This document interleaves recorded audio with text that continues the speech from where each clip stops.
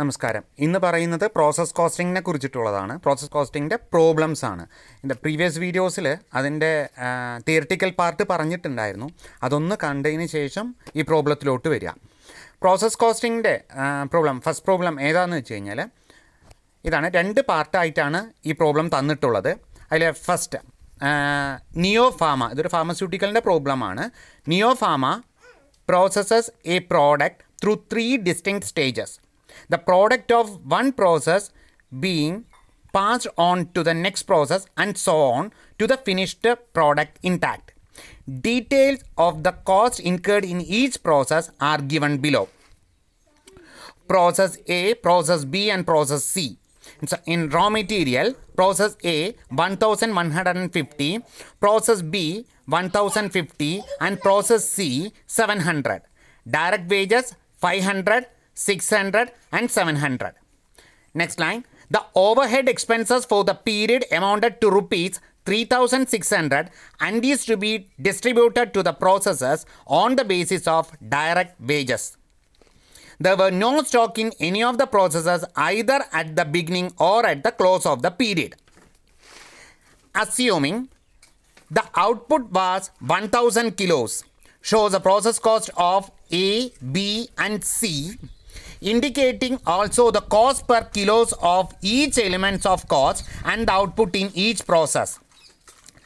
In second part, if 10% of the output in cost is lost, in storage and giving samples. What should be selling price per unit be to take make a gross profit 33 1 by 3 percentage on the selling price. ഇത് lost ആണ്. Okay ഇത് തന്നിട്ടുള്ളത് ഈ ക്വസ്റ്റ്യനിൽ നിയോ pharmaceutical product അതൊരു finished product ആവണമെങ്കിൽ three distinct സ്റ്റേജസിലൂടെ പോകണം ആ സ്റ്റേജസ് എയും ബിയും സിയും ആണ്. ഓരോ സ്റ്റേജസിന്റെയും ഇതിൽ കോസ്റ്റ് വരുന്നത് എത്രയാണ് എന്ന് പറയുന്നുണ്ട്. റോ മെറ്റീരിയൽസിനാണെങ്കിൽ ഇപ്പോൾ one thousand one hundred and fifty അതേപോലെ ഡയറക്റ്റ് വേജസ് ഫൈവ് ഹൺഡ്രഡ് അതേപോലെ ഓരോ സ്റ്റേജസിന്റെയും കോസ്റ്റ് പറയുന്നുണ്ട്. ഇതിനകത്ത് ഓവർ ഹെഡ് പറയുന്നത് ടോട്ടൽ ഓവർ ഹെഡ് ഇതിന് ത്രീ തൗസൻഡ് സിക്സ് ഹൺഡ്രഡ് ആണ്. ഓവർ ഹെഡ് ഏതുമായിട്ട് അസോസിയേറ്റ് ചെയ്തിട്ടുള്ളതാണെന്ന് വെച്ചാൽ ഡയറക്റ്റ് വേജസുമായിട്ട് അസോസിയേറ്റ് ചെയ്തിട്ടുള്ളതാണ്. ഓവർ ഹെഡ് ഡയറക്റ്റ് വേജസുമായിട്ട് അസോസിയേറ്റ് ചെയ്തിട്ടുള്ളതാണ്. അത് കാരണം ഇത് ഡിസ്ട്രിബ്യൂട്ട് ചെയ്യുന്നത് ഏത് പ്രപ്പോർഷനിലാണ് ഡയറക്റ്റ് വേജസിന്റെ പ്രപ്പോർഷനിലാണ് ഇതിനെ ഡിസ്ട്രിബ്യൂട്ട് ചെയ്യേണ്ടത്. ടോട്ടൽ എമൗണ്ട് ആണ് ഓവർ ഹെഡ് തന്നിട്ടുള്ളത് ത്രീ തൗസൻഡ് സിക്സ് ഹൺഡ്രഡ് ആണ്. വാട്ട് ഈസ് ഓവർ ഹെഡ് എന്നുള്ളത് നമ്മൾ പറഞ്ഞിട്ടുണ്ട് മുമ്പേ തന്നെ. അതൊന്ന് നോക്കുക. ദെൻ ഓപ്പണിംഗ് സ്റ്റോക്കും ക്ലോസിംഗ് സ്റ്റോക്കും ഇതിനകത്ത് തന്നിട്ടില്ല. ഇല്ല. ഓപ്പണിംഗ് സ്റ്റോക്കും ക്ലോസിംഗ് സ്റ്റോക്കും ഇല്ല. ഇതിൽ നമ്മൾ per unit per cost per K G കോസ്റ്റും കൂടെ കാൽക്കുലേറ്റ് ചെയ്യണം. എന്നുള്ളത്. ഇനി രണ്ടാമത്തെ പാർട്ടിൽ എന്താ പറയുന്നത് വെച്ച് കഴിഞ്ഞാൽ ടോട്ടൽ ഔട്ട്പുട്ട് നമുക്ക് വൺ തൗസൻഡ് കെ ജി ആണ്.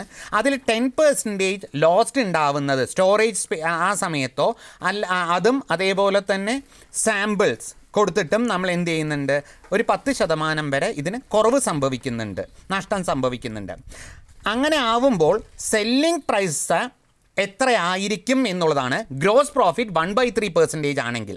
സെയിൽസിൽ ഗ്രോ നമുക്ക് എന്താണ് ഗ്രോസ് പ്രോഫിറ്റ് നമുക്ക് വൺ ബൈ ത്രീ പെർസെന്റേജ് ആണ് എന്നുണ്ടെങ്കിൽ ഉം, നമുക്ക് സെല്ലിംഗ് പ്രൈസ് എത്രയാണ് എന്നുള്ളതാണ് നമുക്ക് നോക്കേണ്ടത്. പ്രോബ്ലത്തിലോട്ട് പോവാം. Problem പ്രോബ്ലത്തിൽ process account process A account അതിനകത്ത് നമ്മൾ എന്താണ് ഡ്രോ ദ ടേബിൾ ആറ് കോളം വേണം. ഒന്ന് പെർട്ടിക്കുലേഴ്സ് രണ്ടാമത്തെ വന്നിട്ട് per K G column third one total rupees column അതേപോലെ particulars per K G total rupees മേലെ നമ്മൾക്ക് ഔട്ട്പുട്ട് എത്രയാണോ അത് എഴുതണം.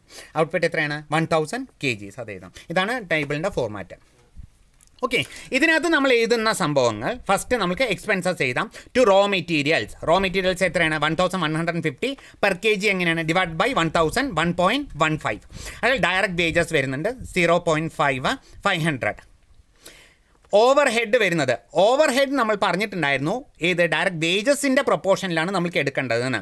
അപ്പോൾ വേജസ് ആകുമ്പോൾ എത്രയാണ്? ഫൈവ് ഹൺഡ്രഡ് ആണ് നമുക്കിപ്പോൾ വേജസ് എന്റെ പ്രോസസ്സിന്റെ വേജസ് എത്രയാണ്? ഇതിനകത്ത് തന്നിട്ടുണ്ട് വേജസ് എത്രയാണ്? ഡയറക്റ്റ് വേജസ് എത്രയാണ്? ഫൈവ് ഹൺഡ്രഡ് തന്നിട്ടുണ്ട്. അപ്പോൾ ഫൈവ് ഹൺഡ്രഡ് ആവുമ്പോൾ നമുക്ക് എന്ത് ചെയ്യണം? ഡിവൈഡഡ് ബൈ എത്രയാണ്? ടോട്ടൽ വേജസ് എത്രയാണ്? Five hundred plus six hundred plus seven hundred five hundred plus six hundred plus seven hundred ഈ മൂന്നും കൂടെ ഡിവൈഡ് ചെയ്ത് അതിൽ നിന്നും നമ്മൾ എത്രയ്ക്കുള്ളതാണ് നമ്മൾ പ്രൊപ്പോർഷൻ ചെയ്യേണ്ടത്? ടോട്ടൽ എമൗണ്ട് എത്രയാണ്? ത്രീ തൗസൻഡ് സിക്സ് ഹൺഡ്രഡ് ആണ്. അങ്ങനെയാണെങ്കിൽ ആ എത്രയായിരിക്കും? നമുക്ക് വൺ തൗസൻഡ് റുപ്പീസാണ് കിട്ടുക. അതായത് five hundred divide by total amount അപ്പോൾ നമുക്ക് ഓവർ ഹെഡ് ചെയ്യുന്നത് എന്താണ്? പ്രപ്പോർഷനിൽ ചെയ്യുന്നത് ഡിസ്ട്രിബ്യൂട്ട് ചെയ്യുന്നത് ഏതിന്റെ അടിസ്ഥാനത്തിലാണ്? വേജസിന്റെ അടിസ്ഥാനം. അപ്പോൾ ടോട്ടൽ വേജസ് എടുക്കണം. നമ്മൾ ടോട്ടൽ ഓവർ ഹെഡ് എത്രയാണ്? ത്രീ തൗസൻഡ് സിക്സ് ഹൺഡ്രഡ് ആണ്. അതിലോട്ട് ഈ ഫൈവ് ഹൺഡ്രഡിനെ നമുക്ക് കൺവേർട്ട് ചെയ്യണം. അപ്പോൾ amount divided by total amount into required amount ഈ എമൗണ്ടിലേക്ക് നമ്മൾ കൺവേർട്ട് ചെയ്യണം. അങ്ങനെയാണ് നമുക്ക് വൺ തൗസൻഡ് കിട്ടുന്നത്. ഓക്കെ ഇതിനെ നമ്മൾ ടോട്ടൽ ചെയ്ത എമൗണ്ട് ഇതാണ് പ്രോസസ് എ അക്കൗണ്ടിന്റെ ടോട്ടൽ കോസ്റ്റ് വരുന്നത്. Two thousand six hundred and fifty per K G എത്ര വരും? ടു പോയിന്റ് സിക്സ് ഫൈവ് ഇത് നമ്മൾ അടുത്ത പ്രോസസ് അക്കൗണ്ടിലേക്ക് നമുക്ക് ട്രാൻസ്ഫർ ചെയ്യണം. By process B account two point six five two two thousand six hundred fifty ഇതിനെ നമുക്ക് ബി അക്കൗണ്ടിലേക്ക് ട്രാൻസ്ഫർ ചെയ്യുന്നു. B account process B account നമ്മൾ ചെയ്യുന്നത് ദ സെയിം പ്രോസസ്സ് തന്നെയാണ്. എന്റെ അതേ പ്രോസസ്സ് തന്നെയാണ്. പക്ഷേ എന്താ ചെയ്യേണ്ടത്? എ പ്രോസസ്സും കൂടിയിട്ട് നമുക്ക് ഇതിനകത്ത് ആഡ് ചെയ്യണം. ബിയിലാവുമ്പോൾ അക്യുമുലേറ്റഡ് അക്യുമുലേറ്റ് ചെയ്ത് വരണം. അപ്പോൾ നമ്മൾക്ക് എന്ത് വരും? To process A account process A account എത്രയാണ്? ടു പോയിന്റ് സിക്സ് ഫൈവ് നമുക്ക് ഓൾറെഡി കിട്ടിയിട്ടുള്ള ടു പോയിന്റ് സിക്സ് ഫൈവും ടു തൗസൻഡ് സിക്സ് ഹൺഡ്രഡും ഫിഫ്റ്റീൻ വന്നു. ഇതിന്റെ കൂടെ നമുക്ക് ഈ വർഷം ഈ പ്രോസസ്സിലെ റോ മെറ്റീരിയൽ കോസ്റ്റ് എത്ര വരും? One thousand fifty direct wages എത്ര വരും? സിക്സ് ഹൺഡ്രഡ് വരും. ഓവർ ഹെഡ് എങ്ങനെയാണ്? അതേപോലെ തന്നെ overhead six hundred divide by one thousand eight hundred into three thousand six hundred one thousand two hundred വരും. എമൗണ്ട് ഇതിൽ ബൈ ഇതിന്റെ ടോട്ടൽ എമൗണ്ട് നമ്മൾ എന്ത് ചെയ്യുന്നു? പ്രോസസ് സി അക്കൗണ്ടിലേക്ക് മാറ്റുന്നു. ബൈ പ്രോസസ് സി അക്കൗണ്ട് എത്രയാണ്? ഫൈവ് പോയിന്റ് ഫൈവ് സീറോ അതിന് ഫൈവ് തൗസൻഡ് ഫൈവ് ഹൺഡ്രഡ് ഇതാണ് ടോട്ടൽ എമൗണ്ട് വരുന്നത്. ദെൻ നെക്സ്റ്റ് ഇത് നമ്മൾ ഇതിന്റെ പ്രോസസ് സിയിലോട്ട് മാറ്റുന്നത്. കൺവേർട്ട് ചെയ്യുന്നു. പ്രോസസ് സിയിലോട്ട് കൺവേർട്ട് ചെയ്യുന്നു. പ്രോസസ് പ്രോസസ് സി അക്കൗണ്ടിലും പ്രോസസ് ബീന്റെ നമുക്ക് അക്കൗണ്ട് നമ്മൾ ഇതിലോട്ട് ക്യാരി ഫോർവേഡ് ചെയ്യുന്നു. ടു പ്രോസസ് ബി അക്കൗണ്ട് അത് എത്രയാണ്? Five point five zero five thousand five hundred total amount raw materials എത്രയാണ്? Seven hundred direct wages seven hundred overhead എത്രയാണ് വന്നത്?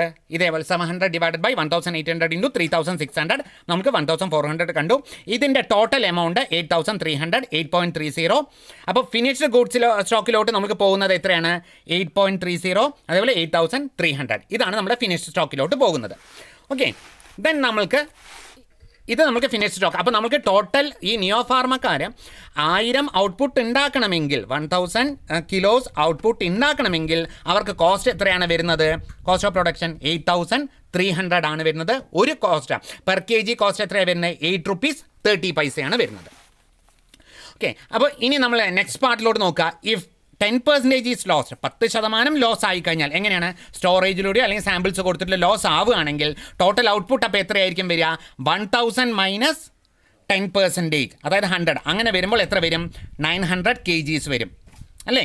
ഇവിടെ one thousand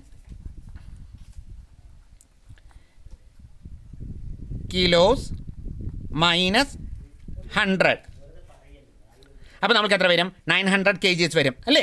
പിന്നെ ടോട്ടൽ കോസ്റ്റ് എത്രയാണ് നമുക്ക് വരുന്നത്? ഇപ്പോൾ നമുക്ക് തന്നിട്ടുണ്ടല്ലോ. ഫിനിഷ് കോസ്റ്റ് വരെ എത്ര വന്നു? എയ്റ്റ് തൗസൻഡ് ത്രീ ഹൺഡ്രഡ് വന്നു. അപ്പോൾ കോസ്റ്റ് പെർ കെ ജി എത്ര വന്നു?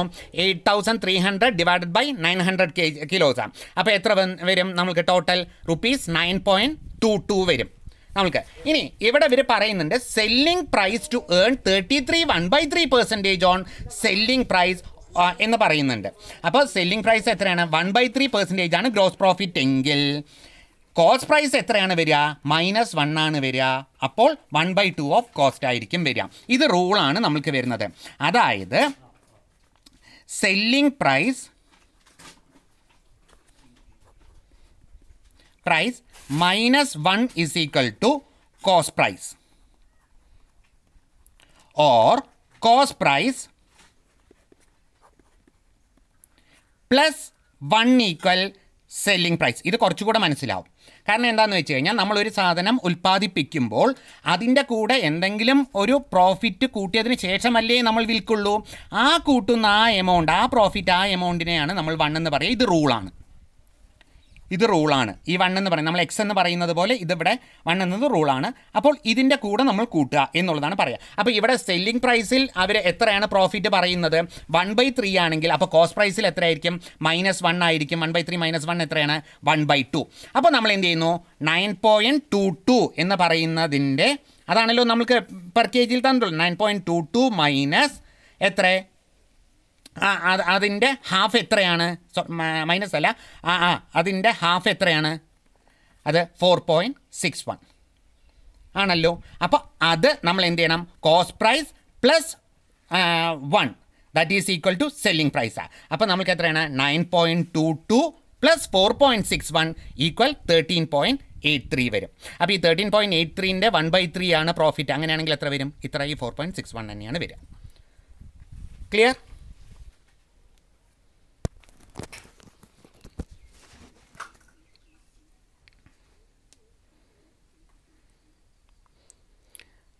Clear. This is Dr. Arun. Thank you.